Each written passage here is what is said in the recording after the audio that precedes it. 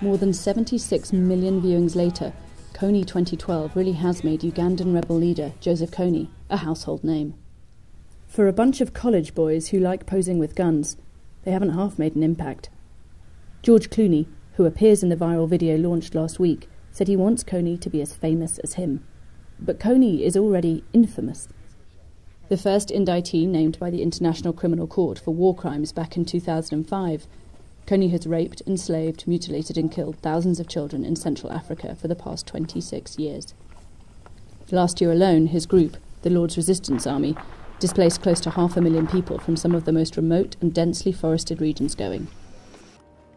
We have reached a crucial time. The campaigners want us all to buy wristbands at $10 a throw to signal our disgust. They argue exactly this kind of domestic pressure on the US delivers results. The video might have spawned a new populist cause, but the academics are apoplectic. They say the makers of Kony 2012 are typical of those who force the white man's burden onto stereotypes of a helpless Africa. They say the internet can't catch a criminal. They also say it is all too sickly sweet, playing on children and schmaltz. It all seems just too oh so simple, something with which Jason Russell, co founder of Invisible Children, which made the film, in fact agrees.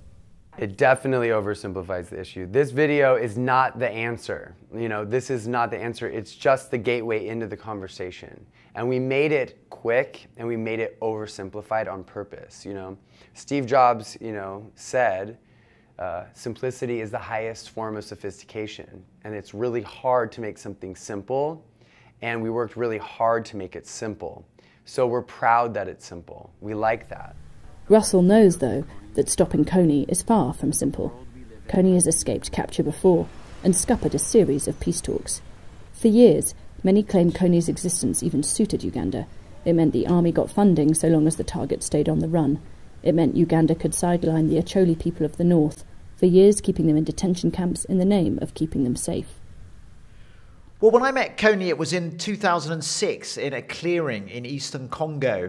Uh, he'd come out of the bush, uh, flanked by his child soldiers, to meet a delegation of Ugandan elders who'd come to try to convince him to lay down his weapons.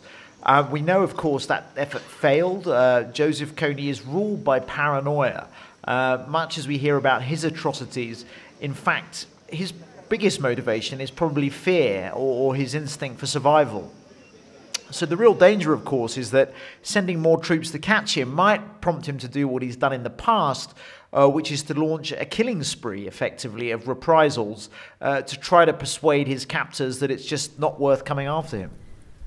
Today, the LRA exists in the murky borderlands between the Democratic Republic of Congo, the Central African Republic, and South Sudan. War weary and poor, these countries' armies are ill trained and badly resourced. They are regularly accused of committing human rights abuses on the very people they are meant to protect. The governments have other priorities. The latest attempt to get Kony relies on getting them all to coordinate. The US sent 100 military advisors to the four countries last year. Obama's boys won't try to capture Kony themselves, so they say, but they hope logistics, intelligence, and coordination might just make the difference. Others, including the United Nations and, yes, Invisible Children, are trying to boost communications on the ground they are even distributing leaflets to persuade people no harm will come to them if they defect. More than half of those who flee the LRA say they have read these leaflets. Bit by bit, the noose is tightening. Katrina Manson, Financial Times, Nairobi.